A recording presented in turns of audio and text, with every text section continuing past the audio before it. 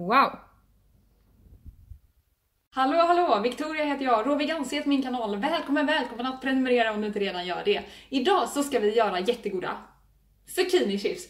Och de här zucchini-chipsen är verkligen jättegoda, jag lovar er. Så ta och testa er efter den här videon helt enkelt. Så att du kommer behöva en zucchini. Men innan jag ska börja slicea upp den här zucchinin så kommer jag att behöva ägg. Bara för att vi ska göra en jättegod krispig krisp som ska fastna på zucchinin helt enkelt. Och för att den ska fastna behöver vi ägg. Och för att göra ägg så gör du så här. Och för att göra ägg så tar du chiafrön, det går bra med krossade linfrön också, men krossa dem gärna själv i så fall. Och sen så tar vi vatten. Och så tar vi slutligen lite citron här också. Och så rör du detta lite. Och så låter du det stå över natten, eller minst en timme i alla fall. Det här ser ut när chiafröna har fått stå. Och använder du linfrön istället så ser det ut så här. Äggen är klara. Så då ska vi göra den här lilla krispig krispen och då kommer vi behöva havremjöl. För att göra havremjöl så kör du bara havregrynen i matleden. Så voilà! Och lite bitigt kan vara rätt nice. Och till det här havremjölet så kommer vi behöva lite olika kryddor och då har vi lökpulver, paprikapulver, spiskummin och eh, oregano. Så det åker ner här. Vill du ha andra kryddor så kan du ha i det också. Chili är jättegott i det här. Eller bara någon så här örtkryddor. Du kan ha dill, rosmarin, timjan, basilika. Du kan ha precis vad du vill, men jag älskar den här blandningen. Självklart kommer jag behöva lite salt också, för det är ju gött, eller hur? Så det jag gör det är att jag tar och bara rör runt det här lite. Just det, lite gurkmeja för färgen också, om man vill. Så bara blanda ihop det här noga.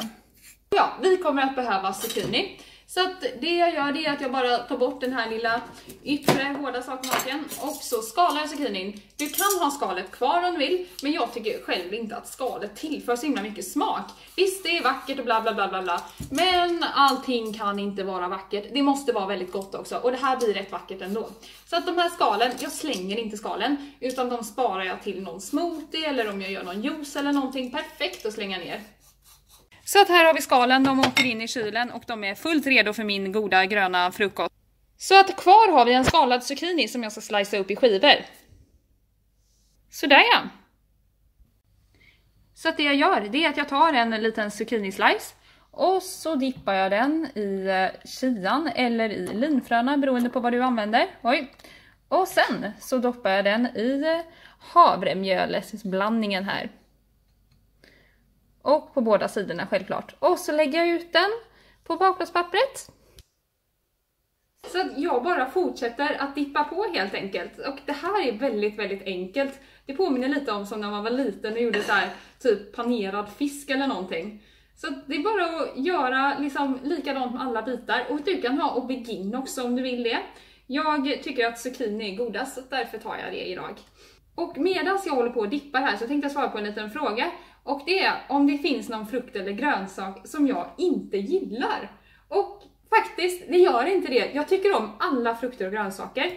Det är bara det att jag gillar inte när de är omogna. Så till exempel, jag älskar tomater, men om tomaterna är så här hårda och eh, liksom bleka, segt skal, ni vet, smakar ingenting, lite syra, då tycker inte jag om dem. Och det är samma sak med ananas liksom. Om jag får en ananas som inte är riktigt mogen, och eh, bara är liksom sur och inte söt eller någonting, då gillar jag inte ananas. Så att jag gillar frukt och grönsaker när det är moget och när det är liksom färskt. Annars så, så nej, då gillar jag det inte helt enkelt. Så att jag gillar allting. Men jag har ändrat mina smaklökar lite också, för att förut så hatade jag zucchini faktiskt. Jag tyckte inte alls om zucchini, men nu älskar jag zucchini. Och det är samma sak med rädisor och rättika, sådana här bittra grejer mina smaklökar var liksom inte vana vid det, så att allting som var bittert, det kände jag bara, nej, det här vill inte jag ha. det var inte gott liksom. Så det är verkligen häftigt hur man kan ställa om sina smaklökar. Och jag har också liksom haft i huvudet att jag, jag ska liksom, eh, jag ska gilla det här. Jag vill verkligen gilla detta. Fast eh, jag inte gör det. Och eh, då får man liksom, man får träna sina smaklökar till att gilla någonting som man egentligen inte gillar och till slut så gör man det helt enkelt.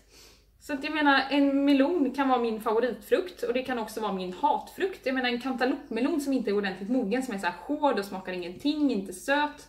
blä! Men en kantalopmelon som är så här perfekt mjuk och, och liksom jättesaftig och jättesöt, smakar jättemycket, då är det bara wow. Det kan bli min favoritfrukt då liksom. Så att det är väldigt olika. Så att det är svaret på min fråga. Jag gillar allting, men det ska vara i bra skick också.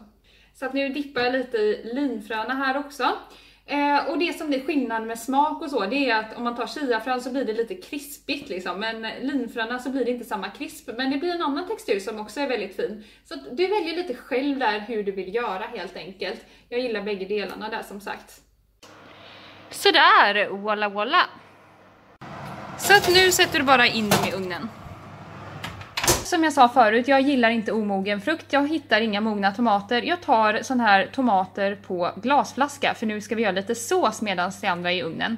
Så bara häll upp lite tomatsås där och så pressar vi över lite citron och sen tar vi en daddel och en liten nypa salt. Några drag med svartpepparn också om man vill det. Sen tar vi gaffeln och bara mosar ihop det här och hokus pokus så har vi en färdig tomatsås! Woho!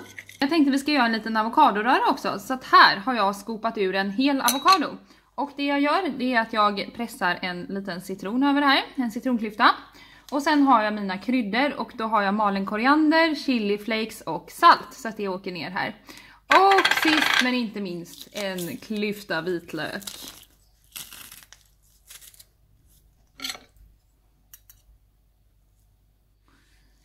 Och sen tar jag bara min gaffel och mosar ihop det här. Så, voilà! Avokadoröran är klar. Så att nu ser det ut så här och då är det dags att vända dem och det gör du bara genom att göra så här helt enkelt. Och de ska vara lite så här halvt mjuka.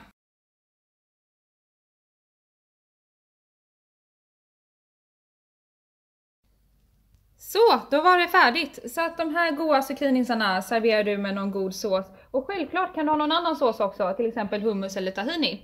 Men det här är riktigt, riktigt gott. Så att gilla videon om du gillar den och glöm inte att prenumerera på min kanal. Hejdå!